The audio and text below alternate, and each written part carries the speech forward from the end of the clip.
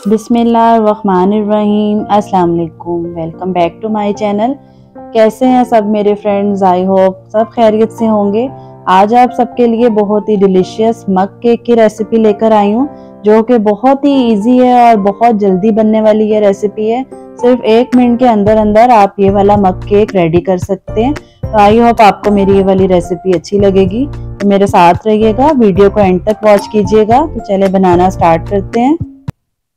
मग cake बनाने के लिए यहाँ पे मैंने ओरियो के चार बिस्किट्स ले लिए हैं और इसको आप किसी भी मग में निकाल लें।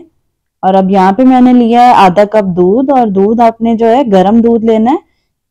और अब दूध डालने के बाद ओरियो के बिस्किट्स जो हैं, आप दूध में अच्छे तरीके से मिक्स कर लें, किसी भी फॉक की मदद से या किसी भी चम्मच से आप इसको अच्छी तरह से मिक्स कर लें। कोई भी लम्ब इसमें बाकी ना रहे। कुछ इस तरीके से देखें, बिस्किट्स जो है हमारे अच्छे से दूध में हल हो चुके हैं। तो अब यहाँ पर मेरे पास है टू टेबल स्पून मैदा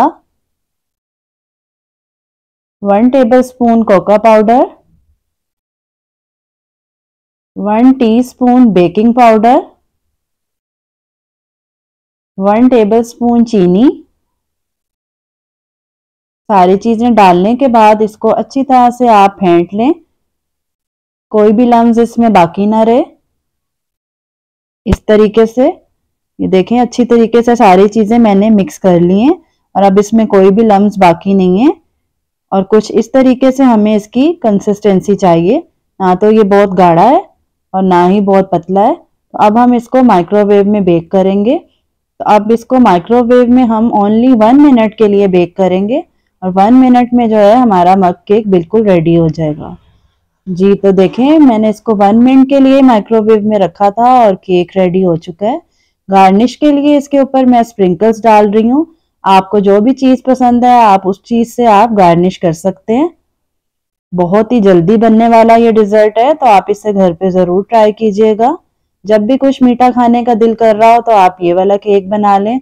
बच्चे भी इसको बहुत ही आसानी से बना सकते हैं, और इसका टेस्ट भी बहुत ही मज़े का बनता है।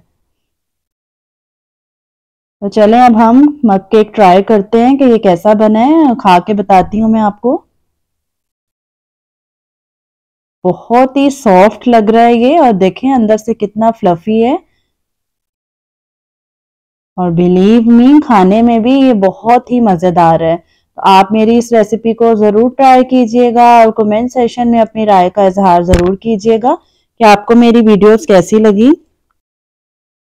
रेसिपी अच्छी लगी हो तो लाइक ज़रूर कर दिया करें। फ्रेंड्स और फैमिली मेंबर्स के साथ शेयर ज़रूर कर दिया करें। और अगर आपने मेरे चैनल को अभी तक सब्सक्राइब नहीं किया तो ज़रूर कर दें। इनशाला फिर मिलेंगे एक मज़ेदार सी रेसिपी के साथ। तब तक के लिए अल्लाह हाफिज़।